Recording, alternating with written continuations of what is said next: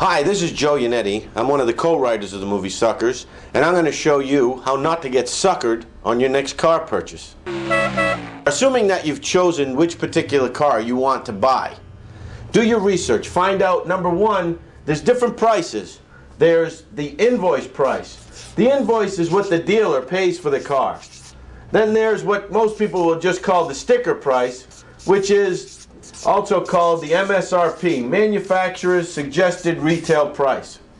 What you want to do is get as close to the invoice price and as far away going downward from the manufacturer's suggested retail as you can. Now, you can find out what the invoice price is at the dealership. They have to tell you. You can go to the DMV and find out. You can go online and find out. You want to know what the options that you would like will cost so that when you go to the dealer, they can't tell you that they cost any more than what they're supposed to be charging you for them. Go to your bank. Find out what finance charges are. You should do more work before you go to the dealer than you will actually do at the dealer. Go to a bank or a credit union. Say you want a, a particular uh, payment per month. You can go to a credit union and say, I have X amount of dollars to put down. I want my payment to be this much. And they'll tell you how much money you would have to borrow and find out what the percentage rates are and find out what that means. Because if you go to your bank and you say, I'm going to borrow $18,000, I'm going to put down $4,000, and they tell you for the amount of time you want to pay for it for, your payments are going to be 350 and you go to a dealership and at the same exact numbers they tell you your payments are 475 then you know something's wrong that they're not charging you what the bank was going to charge you you don't want to walk into a dealership and take a chance that you're just going to get whichever car salesman is next up for you and go through all the things because all you want to do now is you want to go to the dealership and you want to drive a few cars call ahead Ask for a sales manager. Explain to him what you want to do. You want to go down, you want to test drive the cars, you just want to check out the car to see if you like it, and that's it. So what that does is they're expecting you, you go at a time that the dealership's not that busy, where the car salesman can spend more time with you. He's already got it into his head that the chances of you buying the car right now aren't that great. So he'll take some time with you, and they'll probably give you to a salesman that is a more patient type of a guy. From every aspect of this, from when you're calling the car dealership to when you're test driving the car to when you're negotiating the prices, you should never ask a question that you don't already know the answer to and find out if these guys are lying to you. See, it always baffled me that everyone seems to think that all car salesmen are liars. Yet, they'll go to a car dealership not knowing anything expecting to get honest answers from someone that they're already convinced is a liar. Next, your test drive. If you drive a car to work every day, 40 miles on a highway, freeway, you don't want to take a test drive that goes one block around the dealership. Drive the car the way you would drive the car. Give it a real workout. Don't let the guy bully you. Everything is control. You, this is the second largest purchase you make in your life, aside from your home. Don't rush into it. If you want to drive the car on the highway, if the highway is 20 miles away from the dealership, tell him, I would like to drive the car on the highway. If he doesn't want to do that, find another dealership that's closer to the highway. Find another salesman that will allow you to do that. Go back to the dealership and tell the sales manager, I want to drive this car on the highway. This is the most important thing once you're at the dealership. Who has the control? These guys sell cars every day of their life.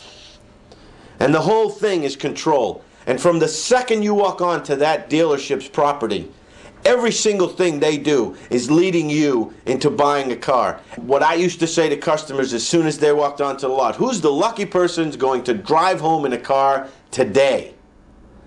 Right away, they're setting the parameters that today is the day you have to buy this car.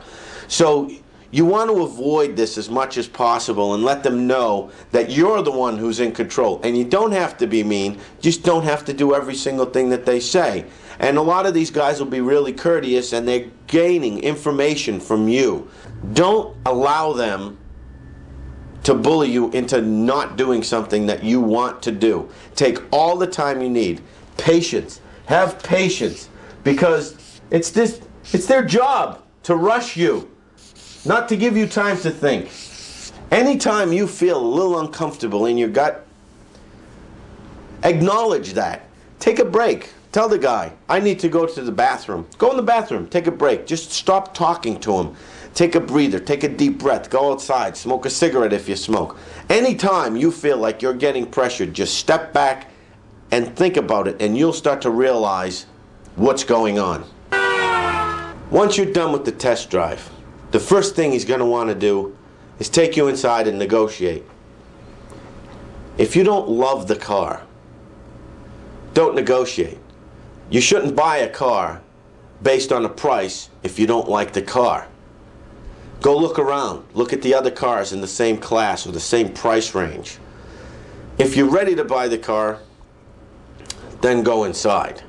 But in my opinion, you should never test drive and then go right inside and negotiate a deal. Test drive the car, go home, give it a couple of days. One of the biggest tricks that they'll use is they'll make you feel like there's some type of an urgency. And every single day of the month, every month of the year, every week, a car dealership will come up with some reason why today is the best day of the year to buy this car. You're never going to get a better deal than you're going to get today. It's just a lie. It's not true. This is the most important thing to remember. The customer has all the control. You're in control. He's going to try as hard as he can to take control. There is no time during the negotiation that you can't simply get up and walk out. And you don't necessarily even have to leave. If it's a car that you really want and you think you can get the right deal and you don't want to go anywhere else, just get up and say, hey, this is getting a little too intense for me right now. I'm going to go take a walk around the block and then I'm going to come back and take the paperwork with you. And they're going to try and make you feel guilty. They're going to try and make you feel like you're taking up their time. They'll try and make you feel like they could have sold three cars in the time that you were there. And that's a bunch of crap. Take their time, take your time, and do what you want to do and get what you want to get. Here's a neat thing bring a calculator to the dealership with you. Because to a car salesman, a calculator is the same thing that a crucifix is to a vampire. Anytime they show you numbers, if you walk into a car dealership and this guy doesn't use a computer to calculate what the numbers will be, he's lying. If he writes down numbers and says, we'll give you this much for your trade, we'll give you this much for your payments, we'll this much down payment, he can't, there's no way uh, any human being can calculate these things in their head. Anytime they write down numbers, add your down payment, what you're getting for your trade, multiply all of the payments. If you're leasing, add the residual, add everything up. And then it's going to create a number that is so big. See, what he wants to do is he wants to show you numbers that he perceives to be small. What you want to do is keep adding them up to make them be really big. Because if you're buying a car, say for $17,000, and once you add in all the stuff with the interest and finance rates, and if you're buying warranties and all kinds of stuff like that, once you add everything up, it's going to be a huge number. And you can use that and, and make him lower his numbers. There's four basic areas of a car deal. Number one is your trade. Anytime now, you should have done your research. You should have found out what your car was worth. Find, you could go to the library, get a Kelley Blue Book, and learn how to read it and add up all the numbers to find out what your car is really worth. First of all, in my opinion, you should never trade a car in. You should try to sell the car on your own. You're not going to get anywhere close to as much money on a trade-in because it it's just logic. They have to take it in at a wholesale price because they have to sell it at a retail price. But if they if you allow them to give you two dollars for your car, they'll take your car for two bucks. Then you got the purchase price, what you're actually paying for the car. What they're going to put up here is they're going to put up the MSRP, like I told you before.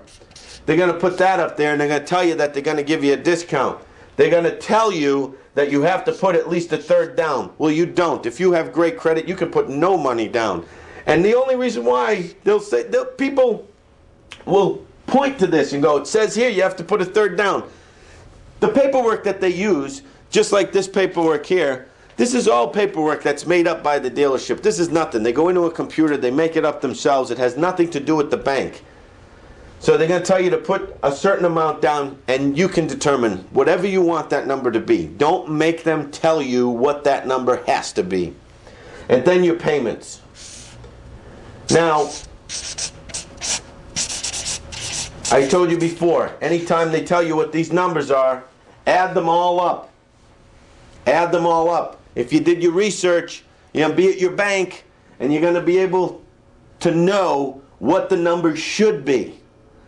The one most important thing when you're negotiating the purchase is the total selling price of the car. What they're going to try to do is get you to only concentrate on the payment. They're going to go from your trade to the selling price to the down payment and they're finally going to end up at your payment. And they're going to say, look, they'll say things like, what if this car costs $500,000 and I can sell it to you for 20 bucks a month. You'd buy it right now, right? Well, it's a ridiculous idea, but they'll use it and somehow it works logically in your mind. And you'll say yes to that, and they got you. Now you're only talking about the payment. And it's the easiest way to get ripped off. Don't concentrate on anything except the total selling price of the car. How much are you going to sell this car to me for? Well, we'll have to see what we can get you financed and what we can do this and what kind of rate. You don't want to let them say anything. You control it. This is the number I want to negotiate right here. What's the invoice price? How much did you pay for the car? I'll allow you to make a little money, but I want to know exactly what this number is. Then you work from there. Now, there's all kinds of trick to get you off of the total selling price of the car. First, they're going to go to your trade. Tell them, I don't have a trade. My brother-in-law is buying my car from me. Then they're going to try to get you on the down payment. And you say, I don't know what my down payment's going to be. It all depends on what the total selling price of the car is and my mother might be lending me some money and my sister owes me some money that she might come up with just or very simply say why won't you tell me what the total selling price is Anytime they try to get you off of this, say, explain to me. Pretend you're naive, you don't know anything. Look, I'm really sorry, but I just don't understand why we can't just talk about the total selling price of the car. And they have a million answers, and don't get distracted. Concentrate, focus, listen. If he's taking you away, you'll feel it. Listen to your gut. If he's taking you away and you can't figure out how to get back, Walk away. Walk out. Take your time. Take a breath. This is one of the biggest tricks. One of the best tools a car salesman has. The credit application. This application has every bit of information of your whole life that they need to use against you. And that's what they're going to do. A lot of stuff that you don't even realize they're doing. They're going to get your name, your phone number, your address. They're going to get that first and they're going to tell you, well, we can't negotiate until we can see that you qualify to buy this car. And say, look, I qualify to buy the car. I can get a loan at my own bank. I don't want to do a credit application. I want to know what I'm going to pay for this car. Stick to your guns. First thing they're going to get, your name and address and phone number. The reason why they do that is because if you walk out, they're going to call you when you go home. They'll find you. They're not going to give up. So you don't want to be harassed if you decide you don't want to buy a car from this person. So don't give them this information right away. Then they're going to get your previous address, your occupation. Now they're gaining information. They're calculating all this stuff. I'm an engineer and I've been working at this company for 12 years. They know that you're stable and they can get you financed. They're going to get a low rate of financing. They're going to jack it up and charge you more for it and this is all information that they're gaining to use against you. When they ask you about your nearest relative not living with you, if you're a person that doesn't have good credit or doesn't have enough money to put down on the car, they're going to go, well, what about your sister here? It says that um, she works at this place. Whatever information they get about your sister, why can't you borrow money from her? Down below here, they're gonna get they're going to get your information where you live. Do you rent? Do you own? If you own a house, they know that, that you probably have decent credit. Uh, they're going to get all your credit card numbers. When you say, hey, I can't put down $5,000, all I can put down is three. They're going to go, well, I see here you have a MasterCard. What's your credit limit? We have your credit limit. We have your balance. You can put $500 on this credit card. You can put another 1000 on that one that when they have the insurance information, they use the insurance information to know that you can buy the car right now and you can drive away with it without having to buy insurance because you're already insured. And another thing is, when they check your credit, if you get, go to six different dealerships and all six of them check your credit, that looks bad for you. Just a quick summary most important thing do your research, find out everything that you need, get prices for everything that you want. Find out what car and what you're buying and how good it is. Find out if it's a reputable dealership. Go to a friend and find someone who treated them nicely. Control yourself. Don't let them control you. Anytime you get a bad feeling, understand that you have a bad feeling for a reason and step back. Get everything in writing. Don't take anything on their word. Don't take their word for anything. Get everything in writing and signed. And don't take the car until it's your car. And it has everything on it that they promised you. I'm Joe Yannetti. I hope you enjoyed the DVD. Hope you enjoyed watching the movie. And I hope I save you a whole bunch of money on your next car purchase.